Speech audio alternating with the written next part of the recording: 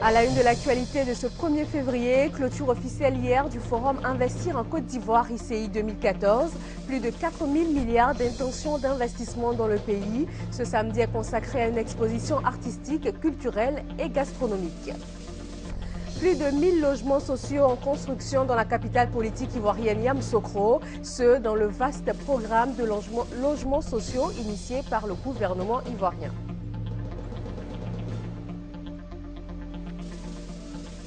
En Centrafrique, un pont aérien est ouvert entre Bangui et N'Djamena. Il permet l'évacuation de milliers de civils venus de plusieurs pays africains voisins. Ce sont essentiellement des musulmans. L'opération est pilotée par l'Organisation internationale pour la migration.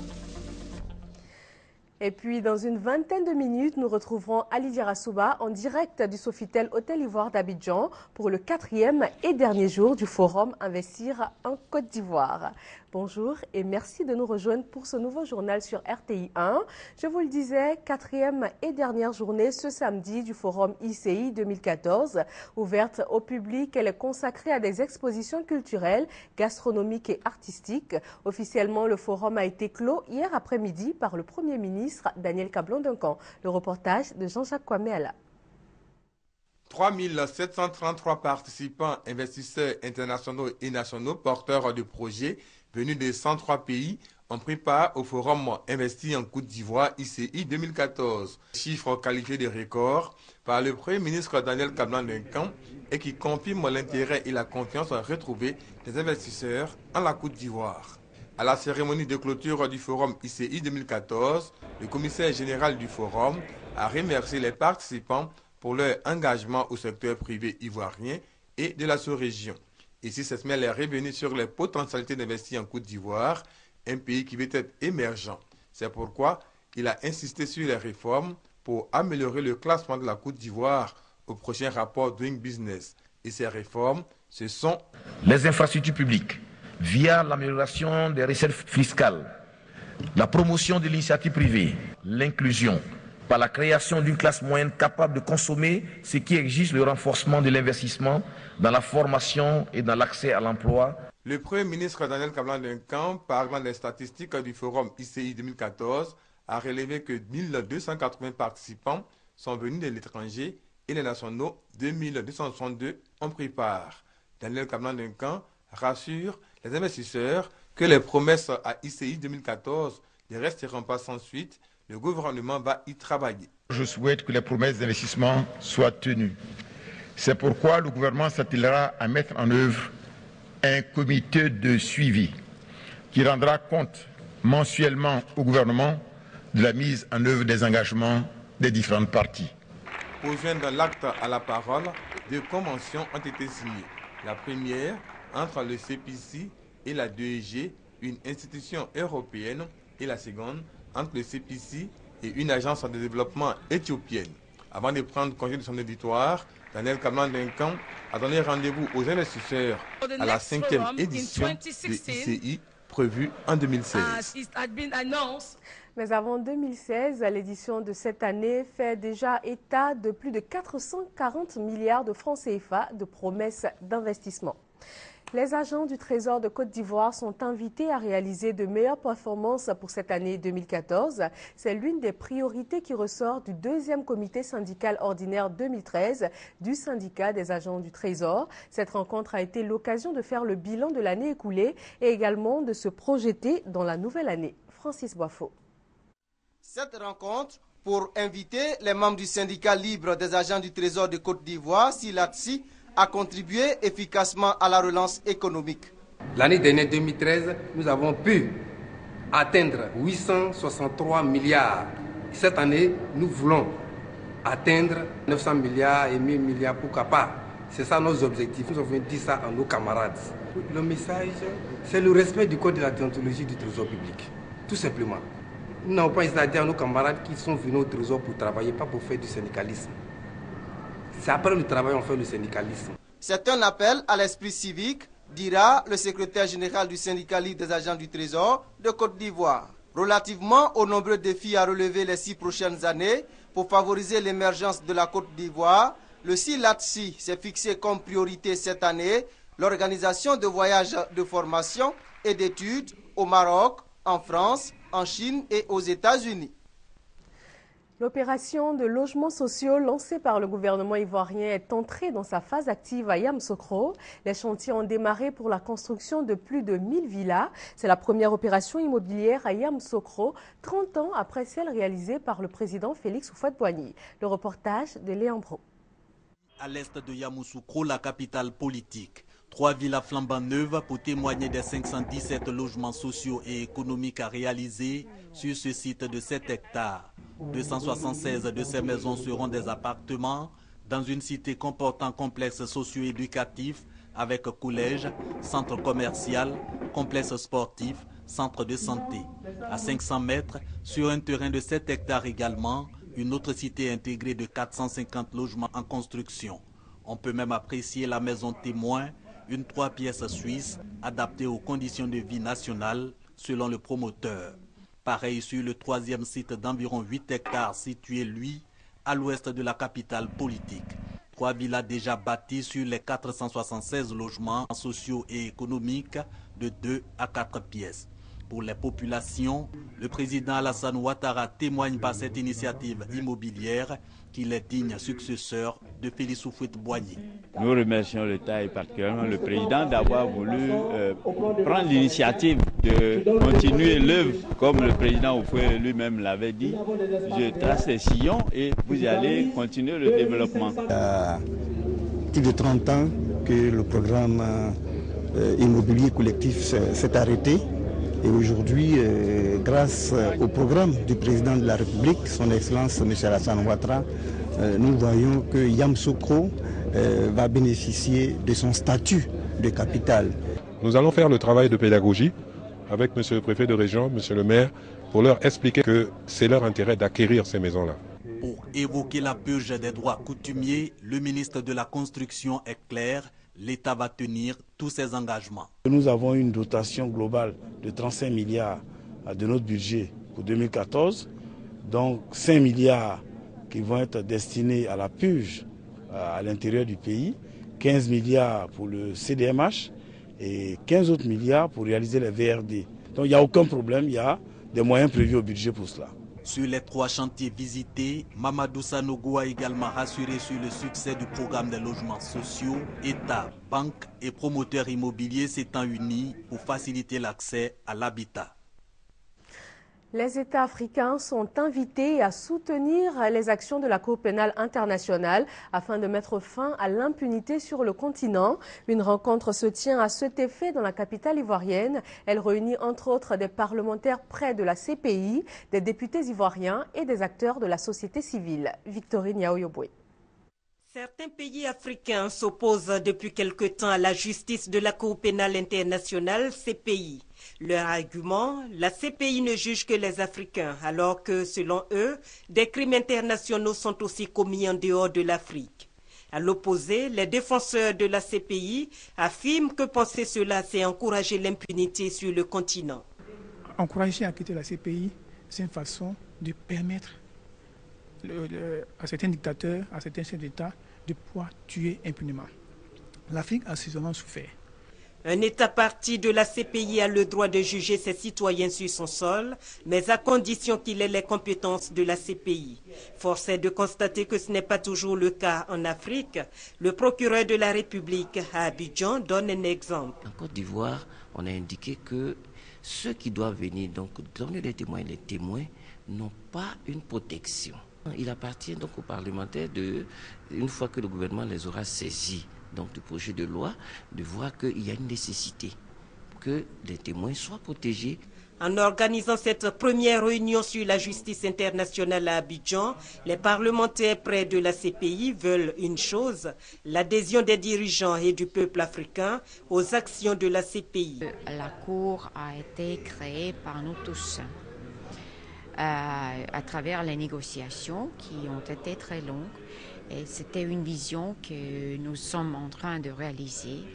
Et nous avons vraiment besoin de tous les 122 États partis, mais nous avons besoin des voix africaines pour soutenir la Cour. Les défenseurs de la Cour pénale internationale sont convaincus qu'ils mènent le bon combat, car, disent-ils, l'impunité d'aujourd'hui est le crime de demain. La chefferie traditionnelle de Noé offre à la localité située à la frontière ivoire-ghanéenne une cantine scolaire d'un coût total de 10 millions de francs CFA. Cette cantine devrait permettre aux élèves de bénéficier de meilleures conditions afin d'obtenir de meilleurs résultats scolaires. Doigt des lasers. Des acclamations, le salut aux couleurs. Les élèves du groupe scolaire Noé 1 et 2 se réjouissent de l'ouverture de leur cantine scolaire. Cet édifice flambant neuf est l'œuvre de la chefferie du village de Noé en vue de permettre la restauration des élèves après leur cours. Nous avons mis en place un groupement de femmes. Des parcelles de terrain seront mises à leur disposition pour cultiver des légumes et du manioc pour faire de la tchéké qu'elles mettront à la disposition de la cantine. Le coût de réalisation de cette cantine scolaire, 10 millions de francs CFA, entièrement financé par la chefferie de Noé. Pour la directrice nationale des cantines scolaires, cet apport est à encourager. La cantine ne respectait pas les critères d'ouverture d'une cantine. Et donc, nous avons menacé de fermer. La communauté a décidé de prendre ses responsabilités. Nous ne pouvons qu'exprimer notre satisfaction. Ouf de soulagement également pour les élèves de Noé. Ils expriment leur reconnaissance aux donateurs.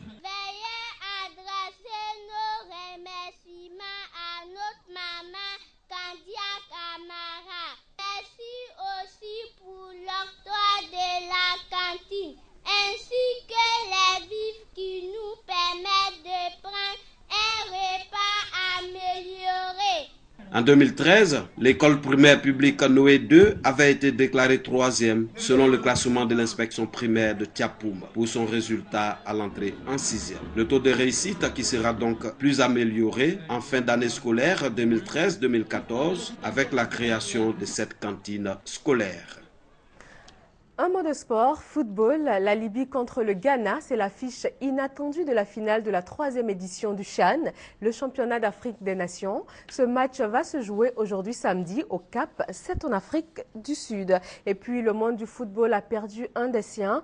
L'ancien sélectionneur de l'équipe d'Espagne de football, Luis Aragon, est mort ce samedi à l'âge de 75 ans. Il avait conduit la sélection espagnole au sacre à l'Euro 2008. Depuis le début des combats au Soudan du Sud, la Croix-Rouge achemine eau potable, vivres et médicaments dans des hôpitaux, des prisons, des camps pour personnes déplacées. Mais les autorités soudanaises viennent de donner l'ordre à la Croix-Rouge de suspendre ses activités sur le territoire dès ce 1er février. Bien que les projets soient suspendus, les quelques 700 employés locaux et internationaux vont rester dans les bureaux de l'organisation alors que des discussions doivent s'ouvrir dans les jours à venir avec le ministère des Affaires étrangères, Commission d'aide humanitaire et d'autres agences gouvernementales. La conférence des pays donateurs pour la Centrafrique s'ouvre ce samedi 1er février dans l'enceinte même du siège de l'Union africaine à Addis Abeba. Les dons récoltés vont être versés dans un fonds. Il sera géré par les Nations Unies en accord avec l'Union africaine. Et puis sur place en Centrafrique, l'Organisation internationale pour les migrations a décidé d'organiser un pont aérien pour évacuer des milliers de civils venus de plusieurs pays africains voisins. Les premiers vols ont transporté 800 Tchadiens de Bangui vers N'Djamena. Ce sont essentiellement des musulmans. Encadré par les militaires de la mission africaine, le convoi traverse Bangui. À bord de ces taxis, des familles musulmanes. Elles sont prises en charge par l'Organisation internationale pour les migrations et fuient les violences sectaires qui ensanglantent la capitale. À l'aéroport, un avion les attend, direction le Tchad avec un maigre bagage et un avenir incertain. On a vécu ensemble des années, des années. Et brusquement, comme ça, il vient faire quelque chose qu'on ne comprend pas vraiment. Ça m'a dépassé, moi je ne comprends pas. Je ne comprends pas comment te répondre. Moi je suis né ici, je suis grandi ici. Euh, je plein des amis chrétiens. Bon, on nous traite comme des étrangers, donc on cherche à regagner chez nous. L'Organisation internationale pour les migrations a ces dernières semaines déjà évacué 4000 personnes. Le prochain vol en emportera 350 de plus et les candidats au départ ne cessent d'affluer. On a une pression énorme de la part de Centrafricains qui veulent quitter et souvent qui se réclament d'autres nationalités pour tenter leur chance. À peine le dos tourné, les biens des familles musulmanes sont pillés et détruits. Une vague de vengeance facilitée par le départ ou le cantonnement des ex-rebelles Séléka qui pendant une année ont mis le pays en coupe réglée. Les milices chrétiennes d'autodéfense, les anti-Balaka paradent et récusent toute chasse aux musulmans. Il y a des, musulmans qui ont grandi ensemble avec nous. Ce n'est pas euh, pour question de faire envoyer tous les musulmans de chez nous. Mais il n'y a que des musulmans tchadiens, des mercenaires tchadiens qui nous ont, qui nous ont causé beaucoup de tort. C'est ça, on est contre ceux-là. Mais on n'est pas contre tous les musulmans. Mais sur le terrain, la réalité est tout autre. Les forces françaises ont du mal à désarmer ces milices improvisées et ces jeunes armés de couteaux ou de marteaux. Les règlements de compte se poursuivent. Au cours des trois derniers jours, les équipes de la Croix-Rouge ont ramassé 30 tués et 60 blessés dans les rues de Bangui. Retour en terre ivoirienne pour le forum Investir en Côte d'Ivoire ICI 2014 et nous retrouvons tout de suite Ali Souba en direct du Sofitel Hôtel Ivoire d'Abidjan pour ce quatrième et dernier jour du forum.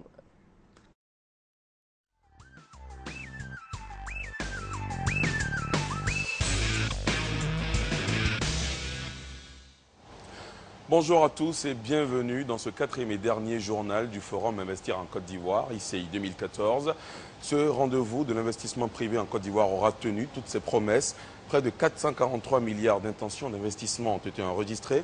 L'événement prend fin euh, aujourd'hui. Hier déjà, il y a eu la cérémonie euh, officielle de clôture en présence du chef du gouvernement ivoirien que vous voyez en image. Daniel Cablan-Duncan a ensuite animé une conférence de presse et face aux journalistes, il a fait un bilan provisoire de ce grand rendez-vous de l'investissement privé en Côte d'Ivoire. C'est l'une des principales innovations de ce forum ICI 2014, le concours Start-up qui a mis en compétition euh, plusieurs porteurs de projets d'entrepreneuriat initiés par le CPC, le Centre de promotion des investissements en Côte d'Ivoire. Ce concours enregistre 10 lauréats qui ont reçu des chèques pour réaliser leurs rêves Jean-Jacques. Voici le lauréat du concours Start-up. Il a reçu des mains du Premier ministre Daniel Kablan-Duncan le premier prix, prix de l'innovation du président Alassane Ouattara, doté d'une enveloppe de 20 millions de francs CFA. Alexandre Castel a été plébiscité par le jury pour son projet sur l'énergie renouvelable. On crée concrètement des petites boutiques dans les villages qui permettent de louer des batteries pour pouvoir alimenter voilà, tous les foyers dispersés et leur apporter de nouveaux services grâce à l'énergie solaire. Avec lui, neuf jeunes porteurs de projets innovants et à fort impact économique ont été également primés. Le projet consiste à mettre sur le marché le premier riz de luxe Made in Côte d'Ivoire. Ce sera donner le statut de luxe au riz produit par nos paysans localement en les aidant à produire évidemment et en les aidant également à se prendre en charge. Au total, ce sont 115 millions de francs CFA que les 10 primés au concours Start-up ont reçus pour réaliser leur projet. Au nom de l'État de Côte d'Ivoire, le ministre du Commerce Jean-Luc Bion a invité la jeunesse à se lancer dans la création des entreprises. Au primé, il a donné ce conseil. Le plus dur commence Sachez que la première année d'une entreprise est l'année la plus difficile. C'est là où nous observons le taux de mortalité le plus important. Ensuite, les trois premières années. Une fois que vous avez passé ce cap-là, je ne dis pas que c'est plus facile, mais vous êtes plus musclé. Votre entreprise devient plus solide et vous êtes mieux rompu aux affaires. Vous devez toujours faire attention, mais battez-vous. Le concours Start-up a été organisé du 2 au 19 janvier 2013 par le Centre de promotion des investissements CPC à l'occasion du forum ICI 2014. 332 candidatures ont été enregistrées, 50 candidats ont été retenus. Ces jeunes entrepreneurs détectés vont bénéficier d'un suivi post-forum. Au nombre des participants à ICI 2014, l'ambassadeur de la Hollande en Côte d'Ivoire, résident à Accra, le diplomate dit être intéressé par les potentialités du port autonome de San Pedro. Il en a profité pour annoncer la réouverture très prochaine de la représentation hollandaise en Côte d'Ivoire. Noël Nyagnou. Hans Docteur, ambassadeur de la Hollande en Côte d'Ivoire avec résidence à Accra, compte au nombre des visiteurs de ICI 2014 sans intérêt le port autonome de San Pedro pour ses potentialités d'investissement. Avec euh, le développement du secteur minier et le secteur agriculture euh, en l'ouest euh, de, Côte d'Ivoire, c'est réel que cette porte peut se développer. Hans Docteur a saisi l'occasion pour annoncer le retour de la représentation diplomatique de la Hollande en Côte d'Ivoire. Et pour cause. À cause de, cette croissance de l'économie euh, ivoirienne, euh, le gouvernement des Pays-Bas a décidé de rouvrir l'ambassade. Euh, donc on réouvre l'ambassade en juin cette année. Autre fait souligné par le diplomate, la parfaite organisation de ICI 2014. L'événement a cristallisé l'attention de tous à quatre jours durant. Comment l'Ivoirien lambda perçoit-il ce forum ICI 2014 Autre interrogation, quel est le regard que jettent euh, les promoteurs de petites et moyennes entreprises sur la rencontre Les éléments de réponse avec Juliette Roya. Le forum ICI 2014. Que de retombées positives pour la Côte d'Ivoire. Et au nombre des bénéficiaires figurent les petites et moyennes entreprises, les PME. Certes, certaines, faute de moyens pour l'achat des stands d'exposition, n'ont pas pu y participer, mais elles reconnaissent unanimement l'importance de l'événement. C'est une très très belle initiative de toujours apporter des investisseurs comme ça dans un pays qui est en pleine relance économique et tout. Mais la seule difficulté pour nous en tant que PME, c'est l'accès à ce forum-là. Je sais que vous savez un peu le coût de participation à ce forum-là. On suit ça jalousement. Nous sommes promoteurs et constructeurs immobiliers. Pour nous, ici, 2014 euh, devrait nous permettre de rentrer en contact avec des personnes qui ont une expertise avérée dans la promotion immobilière, dans la construction, qui ont de nouvelles techniques de construction pour nous permettre d'aller plus vite et de faire des réalisations moins chères et de pouvoir permettre aussi le financement avec des entreprises qui viennent de l'extérieur. Environ 3000 investisseurs venus des quatre coins du monde pour découvrir les opportunités d'affaires en Côte d'Ivoire.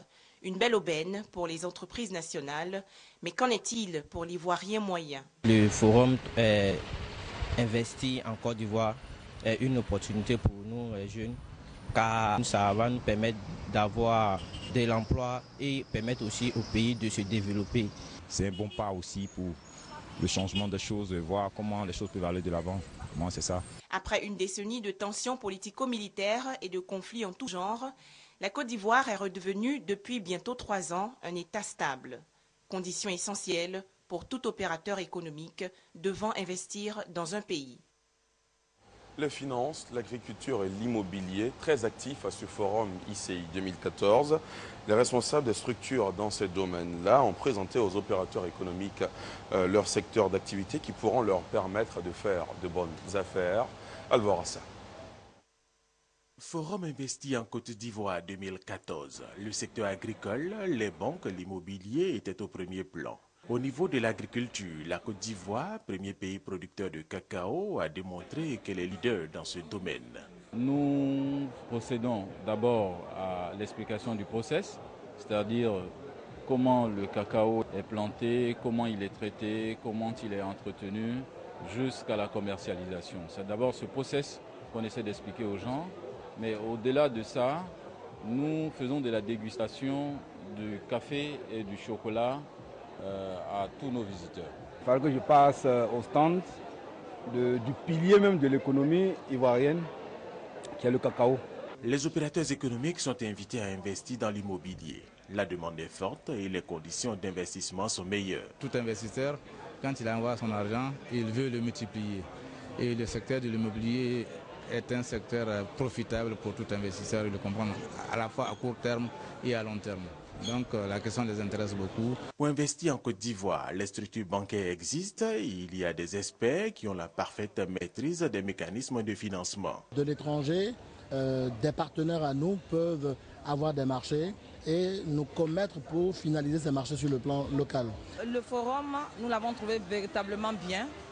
C'est bienvenu parce que là, nous présentons tout ce que nous avons avec plusieurs années d'expérience, les experts ivoiriens dans le domaine des finances entendent accompagner tous les opérateurs économiques qui, après ce forum, voudront bien s'installer en Côte d'Ivoire pour faire fructifier leurs affaires. En bref, sachez que la quatrième et dernière journée de ce forum Investir en Côte d'Ivoire, ICI 2014, a été dédiée au public ivoirien. Une journée porte ouverte pour permettre justement aux populations euh, d'échanger avec les exposants et participants venus euh, de l'étranger pour justement euh, essayer de voir les potentialités d'investissement en Côte d'Ivoire. L'invité de ce quatrième et dernier journal du forum ICI 2014 est Esmel Emmanuel Essis, directeur général du Centre de promotion des investissements en Côte d'Ivoire, commissaire général de ce forum ICI 2014. Bonjour, monsieur Emmanuel Essis. Bonjour. Alors, est-ce que le commissaire de ce rendez-vous que vous êtes euh, est satisfait au soir de cet événement? Merci. Euh, je dirais que sans baigner dans l'autosatisfaction, disons que nos objectifs ont été atteints au-delà de nos espérances. Et c'est ça qui est l'essentiel, parce qu'à la fin de la journée, euh, c'est ce que nous apportons la Côte d'Ivoire en termes d'investissement et en termes d'attractivité de notre pays. D'accord, on enregistre 443 milliards de francs CFA d'intentions d'investissement. Pour passer des intentions au concret, comment les choses vont se passer? Alors, il a lieu d'expliquer. Nous avons plusieurs phases dans le processus d'investissement. La première phase est d'aller rechercher, identifier l'investisseur. C'est ce que nous avons fait. Ils sont venus. La deuxième phase est d'expliquer, de, dialoguer avec cet investisseur pour savoir quels sont les domaines, les activités qui l'intéressent. Ce qui a été fait durant les rencontres B2B, durant la présentation de nos projets. La troisième phase consiste à exprimer à l'expression de l'investisseur à l'intérêt de venir en Côte d'Ivoire, poser ses valises et y investir. Et là, il exprime cela qu'on appelle donc l'intention d'investissement. Donc il est convaincu de venir en Côte d'Ivoire, il a un projet de fabrication d'une ferme agricole de 40 milliards, et il nous l'exprime. Le total de ces expressions font donc le montant de 443 milliards que vous avez donc annoncé. Après cela, nous allons passer dans la phase d'agrément. Il faut bien que cet investisseur, on le suive. Il a l'idée, il faut lui trouver le terrain, il faut lui trouver toutes les facilitations, il faut lui donner l'agrément à l'investissement. Et il fasse après cela dans la phase de réalisation. D'accord, on vous a bien compris. Tout à l'heure, vous parliez de vos objectifs qui ont été largement atteints. À l'origine, vous vous attendiez à combien? Alors, je dirais que lorsque nous avons bâti ce projet, on était sur un objectif de participation de 1500 personnes, dont à peu près 700 euh, euh, venant de l'extérieur. Et aujourd'hui, nous avons clos, le chiffre a été annoncé par le Premier ministre hier, à 3733 participants, dont 1280 venant de l'extérieur. Juste pour rappel, le dernier forum qui a eu lieu en 1995 a enregistré 406 participants venant de l'extérieur et a totalisé 85 milliards d'intentions d'investissement il y a de cela 15 ans.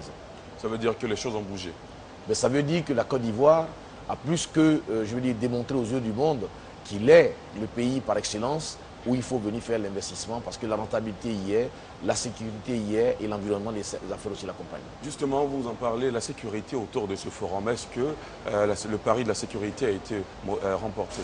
C'est l'occasion de rendre hommage à nos forces de l'ordre qui ont nuit et jour veillé sur l'ensemble de ce forum et qui ont fait un dispositif qui a permis, à notre connaissance, de n'avoir pas enregistré d'incidents majeurs.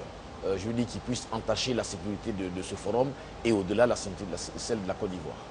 Dans le fond, Monsieur le directeur général du CPC, quels sont les secteurs qui ont le plus attiré l'attention des investisseurs étrangers Alors, comme vous le savez, notre forum a été axé sur deux grands secteurs d'activité, l'agribusiness et l'infrastructure. Donc, évidemment, toutes les intentions d'investissement, tous les intérêts ont porté sur ces deux éléments. Et c'est les deux éléments phares, je dirais, qui sont porteurs de croissance dans notre économie. L'agribusiness, parce que nous sommes une entreprise agricole, nous entendons pour l'émergence transformer, être en même de transformer nos matières premières et l'infrastructure parce qu'il accompagne justement cette industrialisation. D'accord. Alors, l'une des attractions de ce forum ICI 2014, le concours des startups, on l'a vu tout à l'heure dans un reportage, outre les chèques qui ont été remis aux lauréats, quel accompagnement du CPC alors c'est un projet que nous menons avec euh, les partenaires de développement. C'est l'occasion de pouvoir remercier la SFI pour son apport. Alors ce projet, donc là c'est la première phase. Ce n'est qu'une phase, euh, je veux dire, transitoire. Le plus gros maintenant est de mettre en place le processus d'encadrement de ces, de ces, jeunes euh, entrepreneurs, de finaliser le business plan pour le rendre bancable, de les aider à trouver des financements et ensuite de passer la phase de réalisation du projet. Dernière question, monsieur le commissaire général de ce forum ICI 2014. Quelle retombée justement euh, de ce forum pour le redynamisme de l'économie ivoirienne? Les économistes disent que l'investissement est la clé de la croissance. Donc quand l'investissement privé s'installe, forcément la croissance s'installe. Et si la croissance s'installe, les revenus augmentent. Et si les revenus augmentent, l'Ivoirien lambda le sentira parce qu'il aura de l'emploi, il aura des revenus meilleurs et pourra mieux s'occuper de sa famille. Merci infiniment, Esmel Emmanuel Essis. Je rappelle que vous êtes le directeur général du Centre de promotion des investissements en Côte d'Ivoire, le CPC. Par ailleurs, commissaire général de ce forum ICI 2014. On aura l'occasion de vous retrouver sur un autre plateau pour rentrer dans euh, les détails de ce bilan justement consacré au forum Investir en Côte d'Ivoire 2014. C'est le dernier journal, mesdames et messieurs. Merci de l'avoir suivi, consacré à ce forum. On se retrouve dans d'autres occasions beaucoup plus heureuses pour papa. À vous l'antenne, Fatou Fofana. Retenons que le bilan est largement positif avec plus de 3000 investisseurs présents dans le pays, plus de 4400 milliards de promesses d'investissement. Le forum Investir en Côte d'Ivoire 2014 est considéré comme une réussite. Rendez-vous est pris pour la prochaine édition en 2016. Et voilà qui met fin à ce 13h. Excellent week-end à vous tous sur RTI 1.